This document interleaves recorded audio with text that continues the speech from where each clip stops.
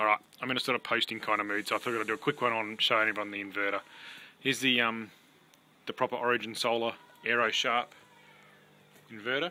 It's got this little cool little screen on here, hopefully you can see that well. It ticks over telling you how many hours, total hours, um, temperature, not too sure what some of that stuff means, but look, it's telling me at the moment it's making 710 watts. It's got 249 volts it must be string one, I'm guessing, is 195 volts. Not too sure about how that works, but it tells me now that I, today I've made 4.7 kilowatts. Now what I've been doing is um, using my meter, which is here. You can see the, there's an isolation switch thing there, and there's all these warnings and things. On this meter here, if you press your scroll button, this is one of those new smart meters. I'm just covering up my number. Now if you see there, it'll scroll through slowly showing you that uh, that's the time, uh, there we go, three.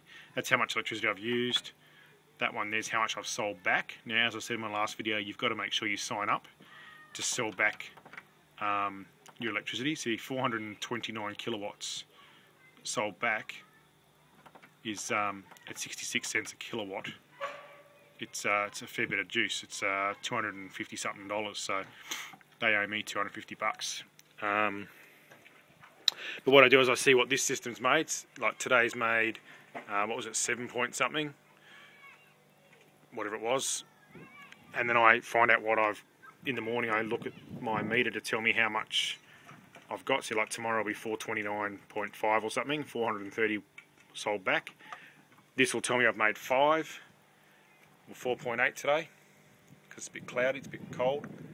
That'll tell me 4.8, and then this will this will go up to like um, 440 kilowatts. So my homemade system makes, say, 5 kilowatts, and the Origin system makes 5 kilowatts. That's how I know if I'm, if my homemade system's working. I can tell just by the meter here, because the meter will tell me how much I'm making on the two. So um, that's one way of working out if your homemade system's actually chugging along nicely enough, and they do work together.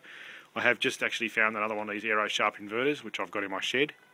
So I'm going to get myself some more panels if someone can tell me where to get half decent cheap panels in Melbourne, Victoria, I'd be um, I'd be happy because uh, I need some more panels to get another one of these inverters running. Um, yeah. Thanks a lot, guys. Bye.